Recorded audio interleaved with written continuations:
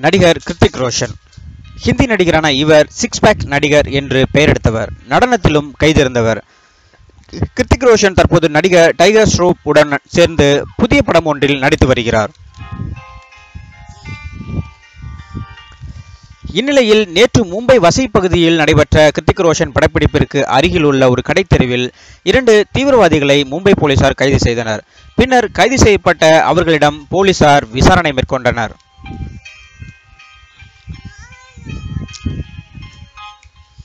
Police விசாரணையில் அவர்கள் இருவரும் கிருத்திக் ரோஷன் படத்தில் தீவிரவாதிகளாக வேஷம் போட்டு நடிக்க வந்த துணை நடிகர்கள் என்பதும் தற்போது பிரேக் டைம் என்பதால் அவர்கள் கடைத்தெருவில் சிகரெட் வாங்க வந்தனர் என்பதும் தெரிய வந்தது ஆனால் விசாரணையில் இதை தெரிந்து கொண்ட மும்பை போலீசார் அவர்களை சும்மா விடவில்லை. மாறாக கடமை தவறாத போலீஸை போன்று பொதுவெளியில் மக்களுக்கு அச்சம் மூட்டும் வகையில் சுற்றித் திரிந்ததற்காக அந்த துணை நடிகர்கள் இருவர் மீதும் வழக்கு பதிவு செய்துள்ளனர். மும்பை போலீஸ். மும்பை காவல்துறையின் இந்த நடவடிக்கையை பார்த்த அங்குள்ள மக்கள் பூரிப்படைந்தனர்.